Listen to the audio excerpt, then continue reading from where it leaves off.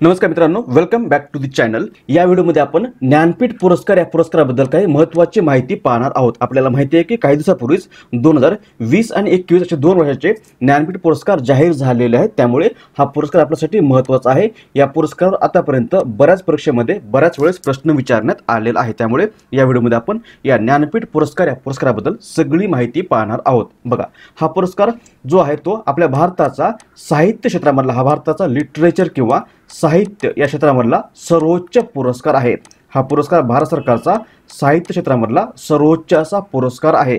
हा पुरस्कार सुरू झालेला एकोणीसशे पासष्टपासून म्हणजे हा पुरस्कार एकोणीसशे पासष्ट या वर्षापासून देण्यात येतो नाईन्टीन सिक्स्टी फाईव्हपासून. मग याचं स्वरूप काय? तर या पुरस्कार स्वरूप आहे अकरा लाख रुपये रोख रक्कम. या पुरस्कारामध्ये अकरा लाख रुपये रोख रक्कम त्यानंतर एक वांगदेवीची मूर्ती एक वांगदेवीची मूर्ती एक प्रशस्ती पत्रक व एक स्मृती चिन्ह देण्यात येतं किंवा हे या पुरस्काराचं स्वरूप आहे. अकरा लाख रुपये रोख रक्कम एक वांगदेवीची मूर्ती प्रशस्ती पत्रक व स्मृती चिन्ह असं या पुरस्कार स्वरूप आहे. आणि हा पुरस्कार पहिल्यांदा किंवा पहिला पुरस्कार जो आहे तो नाईन्टीन सिक्स्टी फाईव्ह एकोणीसशे पासष्ट या वर्षामध्ये जी शंकर कुरूप जी शंकर कुरूप या मल्याळम लेखकाला देण्यात आला होता. नाव आहे त्यांचं जी शंकर कुरूप आणि ते एक मल्याळम लेखक होते. मल्याळम लेखक होते. यांनाच पहिल्यांदा एकोणीसशे पासष्टच्या वर्षामध्ये या ज्ञानपीठ पुरस्काराने सन्मानित करण्यात आलं होतं. त्यानंतर महत्त्वाचा मुद्दा की आतापर्यंत हा पुरस्कार किती व्यक्तींना देण्यात आला आहे? तर लक्षात ठेवा की दोन हजार एकवीसपर्यंत दोन हजार एकवीस या वर्षापर्यंत आतापर्यंत हा पुरस्कार एकूण सत्तावन्न वेळा सत्तावन्न वेळा देण्यात आलेला आहे आणि आतापर्यंत हा पुरस्कार एकूण बासष्ट साहित्यिकांना देण्यात आलेला आहे. आता प्रश्न पडला असेल की असं कसं? सत्तावन्न आणि बासष्ट कसं? तर हा पुरस्कार आतापर्यंत एकूण सत्तावन्न वेळा देण्यात आलेला आहे आणि यामध्ये पाच वेळा पाच वेळा हा पुरस्कार विभागून देण्यात आला होता. त्यामुळे आतापर्यंत एकूण बासष्ट साहित्यकांना या पुरस्काराने सन्मानित करण्यात आलेला आहे. हा पुरस्कार एकोणीसशे सदुसष्ट नाईन्टीन सिक्स्टी सेवन त्यानंतर nineteen seventy three nineteen ninety nine दोन हजार चार आणि दोन हजार नऊ असा पाच वेळेस विभागून देण्यात आल्यामुळे आतापर्यंत हा पुरस्कार एकूण बासष्ट साहित्यकांना मिळालेला आहे. आता आपल्याला माहिती पाहिजे की मग हा पुरस्कार म्हणजे गेल्या दोन तीन वर्षापासूनचे पुरस्कार आपल्याला माहिती असणं गरजेचं आहे. मग लक्षात ठेवा की पहिल दोन हजार सतरा टू थाउजंड सेवन्टीन या वर्षामध्ये या पुरस्काराचं आतापर्यंतचं त्रेपन्न संस्करण किंवा हा त्रेपन्नवा पुरस्कार आहे दोन हजार सतराचा. आणि सतरामध्ये हा पुरस्कार कृष्णा सोबती कृष्णा सोबती यांना देऊन सन्मानित करण्यात आलेला आहे. कृष्णा सोबती हे एक हिंदी लेखक आहेत. यांना दोन हजार सतरा या वर्षामध्ये त्रेपन्नवा ज्ञानपीठ पुरस्कार देऊन सन्मानित करण्यात आलेला आहे. त्यानंतर त्यानंतर आहे आपला दोन हजार अठराचा पुरस्कार. दोन हजार अठराचा जो पुरस्कार आहे तो आतापर्यंतचा चोपन्नवा पुरस्कार होता आणि दोन हजार अठराचा चोपन्नवा पुरस्कार हा पुरस्कार अमिताभ घोष अमिताभ घोष यांना देण्यात आलेला आहे. अमिताभ घोष एक इंग्रजी लेखक आहेत आणि इंग्रजी लेखकाला दिला गेलेला हा पहिलाच पुरस्कार आहे किंवा इंग्रजी साहित्यकाला देण्यात आलेला पहिला पुरस्कार जो आहे तो या अमिताभ घोष यांना दिलेला आहे. दोन हजार अठराचा चोपन्नवा. त्यानंतर दोन हजार एकोणीसचा पुरस्कार कोणाला दिला होता? हा आतापर्यंतचा पंचावन्ना पुरस्कार आहे आणि हा पुरस्कार प्रसिद्ध मल्याळम लेखक नाव आहे अक्कितम. नाव आहे अक्कितम अच्युतन. नाव आहे अक्कितन अच्युतन नंबोद्री. नंबोद्री यांना देण्यात आलेलं आहे. हे देखील एक मल्याळम लेखक आहेत. यांना दोन हजार एकोणीसमध्ये पंचावन्नव्या ज्ञानपीठ पुरस्काराने सन्मानित करण्यात आलं होतं. आणि आता आपल्या भारत सरकारने नुकताच दोन हजार वीस दोन हजार वीस आणि दोन हजार एकवीसचा पुरस्कार जाहीर केलेला आहे. वीसचा जो पुरस्कार आहे तो आतापर्यंतचा छप्पनवा पुरस्कार आहे. वीसचा जो आहे तो आतापर्यंतचा छप्पनवा पुरस्कार आहे आणि एकवीसचा जो आहे तो आतापर्यंतचा सत्तावन्नवा पुरस्कार आहे. दोन हजार वीस या वर्षासाठी हा ज्ञानपीठ पुरस्कार जो आहे तो नुकताच एक आसामी कवी आहेत. नाव आहे नीलमणी. नाव आहे नीलमणी फुकन. नीलमणी फुकन यांना देण्यात आलेला आहे. हा पुरस्कार आसामी सा आसामी साहित्य साहित्यासाठी देण्यात आलेला आहे किंवा एक आसामी साहित्यिक आहेत. आणि दोन हजार एकवीससाठी हा पुरस्कार जो सत्तावन्नवा आहे हा दिलेला आहे. कोकणी लेखक. नाव आहे दामोदर. नाव आहे दामोदर मौजो.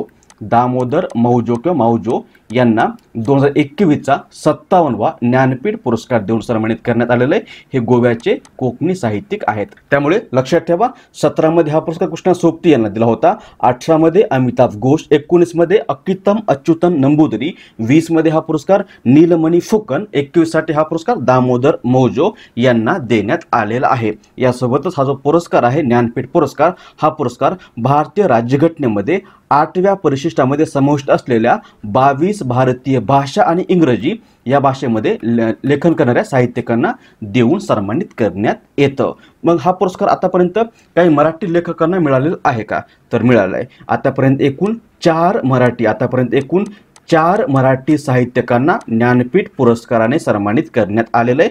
त्या चौघांचेही नाव आपल्याला माहिती असणं गरजेचं आहे. त्यामध्ये एक नाव आहे व्ही स खांडेकर किंवा विष्णू सकाराम खांडेकर. व्ही स खांडेकर यांना हा पुरस्कार नाईन्टीन सेवन्टी फोर किंवा एकोणीसशे चौऱ्याहत्तर या वर्षामध्ये त्यांच्या ययाती या साहित्यकृतीसाठी देऊन सन्मानित करण्यात आलं होतं. आणि हे म साहित्य पुरस्काराने सन्मानित होणारे पहिले मराठी लेखक आहेत. त्यानंतर दुसरे मराठी लेखक कोण आहेत ज्यांना ज्ञानपीठ पुरस्काराने सन्मानित करण्यात आलेले आहे तर त्यांचं नाव आहे व्ही वा शिरवाडकर किंवा विष्णू वामन शिरवाडकर. विष्णू वामन शिरवाडकर यांनाच आ- आपण कुसुमाग्रज यांनाच आपण कुसुमाग्रज म्हणून देखील ओळखतो. आणि या कुसुमाग्रज यांना हा पुरस्कार नाईन्टीन एटी सेवन या वर्षामध्ये त्यांच्या नट सम्राट त्यांच्या नट सम्राट या साहित्यकृतीसाठी देण्यात आला होता. तिसरे कोण आहेत? तिसरे आहेत वी दा करंदीकर. वी दा करंदीकर यांना देखील हा ज्ञानपीठ पुरस्कार मिळालेला आहे. आणि या विदा करंदीकर यांना दोन हजार तीनमध्ये त्यांच्या अष्टदर्शने त्यांच्या अष्टदर्शने या साहित्यकृसाठी हा ज्ञानपीठ पुरस्कार देऊन सन्मानित करण्यात आलेलं आहे. आणि चौथे मराठी साहित्यिक आहेत. त्यांचं नाव आहे भालचंद्र वनाजी नेमाडे. भालचंद्र वनाजी नेमाडे यांना दोन हजार चौदा या वर्षामध्ये त्यांच्या हिंदू त्यांच्या हिंदू एक समृद्ध अडगळ हिंदू एक समृद्ध अडगळ या साहित्यकृतीसाठी हा पुरस्कार देऊन सन्मानित करण्यात आलं होतं. सिंधू एक समृद्ध अडगळ. लक्षात ठेवा आतापर्यंत फक्त चारच मराठी साहित्यकांना हा पुरस्कार दिलेला आहे. एक आहेत वि स खांडेकर नाईन्टीन सेवन्टी फोर ए ती दुसरे आहेत वि वा शिरवाडकर किंवा Kusumagraj nineteen eighty seven Natsamrat. तिसरे आहेत विदा करंदीकर दोन हजार तीन अष्टदर्शने. आणि चौथे आहेत भालचंद्र वनाजी नेमाडे दोन हजार चौदा हिंदू एक समृद्ध अडगळ. बघा पुन्हा एकदा लक्षात ठेवा की ज्ञानपीठ पुरस्कार हा भारताचा साहित्य क्षेत्रामधला सर्वोच्च पुरस्कार आहे. हा पुरस्कार नाईन्टीन सिक्स्टी फाईव्हपासून देण्यात येत आहे. स्वरूप आहे अकरा लाख रुपये रोख रक्कम. एक वांगदेवीची मूर्ती एक प्रशस्ती पत्रक आणि स्मृती चिन्ह. हा पुरस्कार पहिल्यांदा नाईन्टीन सिक्स्टी फाईव्ह या वर्षामध्ये जी शंकर कुरुप यांना दिला होता. ते एक मल्याळम साहित्यिक आहेत. दोन हजार एकवीसपर्यंत आतापर्यंत हा पुरस्कार एकूण सत्तावन्न वेळा आणि बा बासष्ट साहित्यकांना देऊन सन्मानित करण्यात आलेला आहे. पाच वेळा हा पुरस्कार विभागून देण्यात आलेला आहे. दोन हजार सतरामध्ये हा पुरस्कार कृष्णा सोबती यांना दिला होता. अठरामध्ये अमिताभ घोष. अमिताभ घोष हे ज्ञानपीठ पुरस्काराने सन्मानित होणारे पहिले इंग्रजी साहित्यिक आहेत.